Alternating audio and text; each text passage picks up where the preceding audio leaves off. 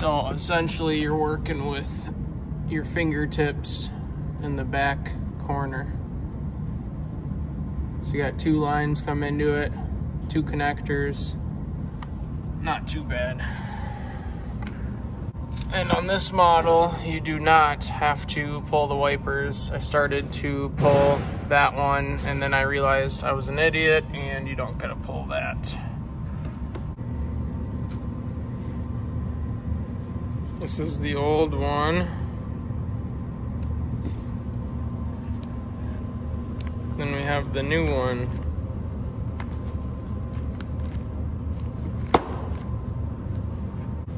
Essentially, you can see it's got one, two, three bolts on it. One that's long, some retaining ones. The nice part is they give you enough shaft where you can get a ratcheting wrench on it, which is nice. All right, guys, I kind of want to show you. Pay uh, close attention if you can. Here, I'll bring this back. trying to get a good view for you. All right, you can't really get it on the camera. You might be able to see it there a little bit, but that plastic cap is stuck inside that housing. So that black piece that you see in the center has to be removed before you put the new one in. So just keep that in mind. All right, now you guys can see it. So see that black plastic? That needs to come out before you put the new high pressure fuel pump in. So you guys can kind of see what I'm talking about. I've been scraping at it with a pick. Usually they just break apart, so you gotta be careful and try to pull it all out of there. Now as you can see, I'll zoom out here. I have a mirror rigged up and taped to the firewall.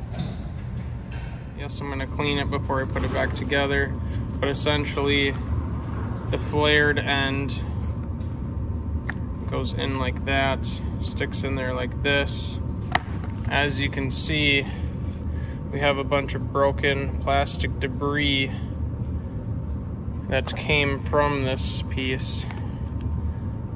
And you're gonna have to clean the rest of this stuff out of the inside of that um, valve cover or cylinder head, I should say, because the rest of that piece is in there. So you're gonna need a pick, you're gonna need to dig it out. All right, guys, we got that out. That is how it should look before you install the new piece of plastic. All right, guys, I'm gonna attempt to show you here. Um, I don't know if you can see that tan color inside the hole. You need to make sure that you can see that before you put the new plastic plunger in. See how there's no more black inside of there? The stock piece of plastic I finally got out. Took some finesse, uh, had to crack it up with some picks and then I used a shop vac that I reduced the hole size all the way down so it could fit in there and it sucked the pieces right out worked great so I know it's not uh, the best visual but again you know this is a mirror facing the back side of the cylinder head so that's about the best I can do as far as trying to show you yeah, it's not fun, guys. You're using a mirror on this one. So we're ready to put the new one in. I'm gonna show you guys kind of how it goes back together. You'll have a better idea of how it comes apart. But again, on this Cayenne, um, you do not have to pull the wiper assemblies and the whole module piece up here like you do in the Paneras or Panoramas or whatever you call it not a Porsche guy, but we're here doing Porsche repairs. So